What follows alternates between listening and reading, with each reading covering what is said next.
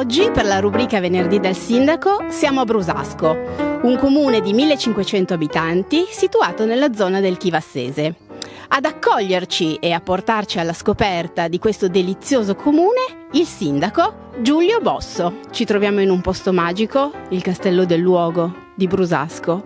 Qual è il valore aggiunto che un comune come Brusasco ha nel custodire un'eccellenza di questo tipo? Allora, il Castello del Luogo è un'eccellenza storica e un'eccellenza artistica assolutamente di pregio. Eh, l'edificio nel quale ci troviamo adesso risale alla metà del 1700 ed ha sostituito una fortezza che risaleva, risaliva al 1300 circa ma è magico tutto il contesto. Ci troviamo all'interno di quello che è il ricetto del luogo, attualmente chiamato Borgo Garibaldi, nato anch'esso intorno al 1200-1300 proprio per mettere in sicurezza gli abitanti di Brusasco che allora vivevano in pianura lungo il Po, vicino alla confluenza tra il Po e la Dora Baltea.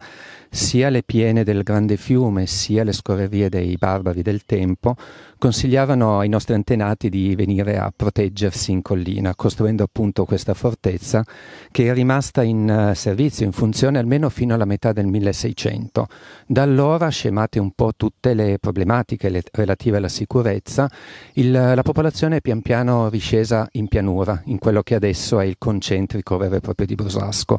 Qui a luogo è rimasto il fascino di un posto senza tempo eh, che grazie proprio alla sua caratteristica può diventare una meta turistica di un certo livello, di quel turismo lento e pacato di cui hanno bisogno i nostri territori. La riprova è il fatto che si stanno sempre più accentuando le richieste di apertura di attività ricettive tipo agriturismi, bed and breakfast, che eh, sono spesso pieni e ospitano turisti arriva- che arrivano da, da tutta Europa. Eh, un turismo quindi fondamentale da valorizzare in una zona di confine tra il torinese e il Monferrato e ci sentiamo però anche un po' monferrini, quindi eh, la giusta unione tra la città metropolitana e il Monferrato può dare quell'input e quel rilancio che serve ai nostri territori. Non ci servono le grandi masse di turisti, ci servono turisti che apprezzino le nostre bellezze, i nostri paesaggi e le nostre ricchezze. Ma se vogliamo trovare anche un difetto a Brusasco, cosa ci racconta? Ma di pregi, come dicevo, ne abbiamo già parlato, siamo in un contesto storico stupendo, abbiamo la possibilità di eh, contare su edifici che risalgono dal periodo romanico fino al periodo barocco, abbiamo attrattive naturalistico, paesaggistiche.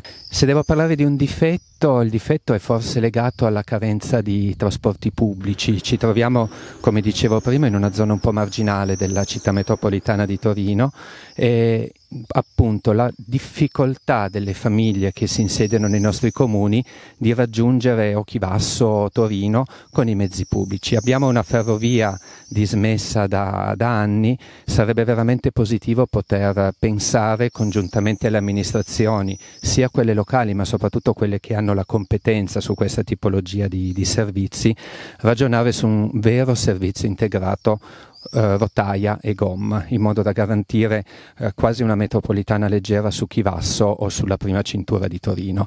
In questo caso veramente nei nostri paesi si potrebbe vivere pienamente la, la realtà e riuscire a garantire tutti i servizi che sono necessari. Sindaco Bosso, quanta passione ci vuole per amministrare un comune al giorno d'oggi con un governo centrale sempre più restrittivo e i cittadini comunque che richiedono servizi?